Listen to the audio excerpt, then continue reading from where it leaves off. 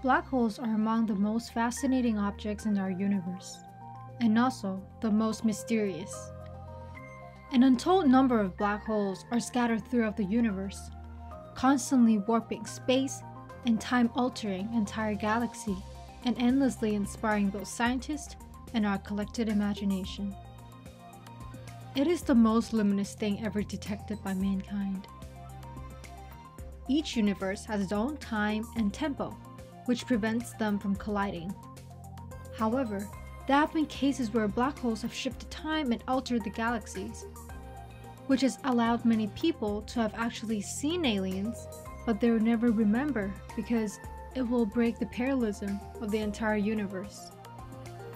The memories live in our subconscious, which is why many people still believe in the existence of aliens.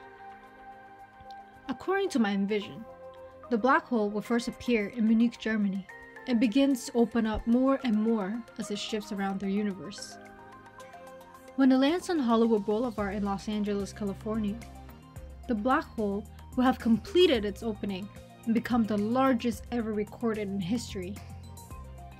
Arms coming out from the black hole and stretching open portals that seem to connect to another universe. I also saw humans being caught by the arms into the tunnel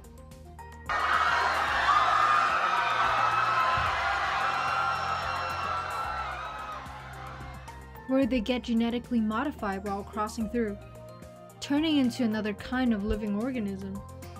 Aliens, we call. Every time a human turns into an alien, an alien turns into a human.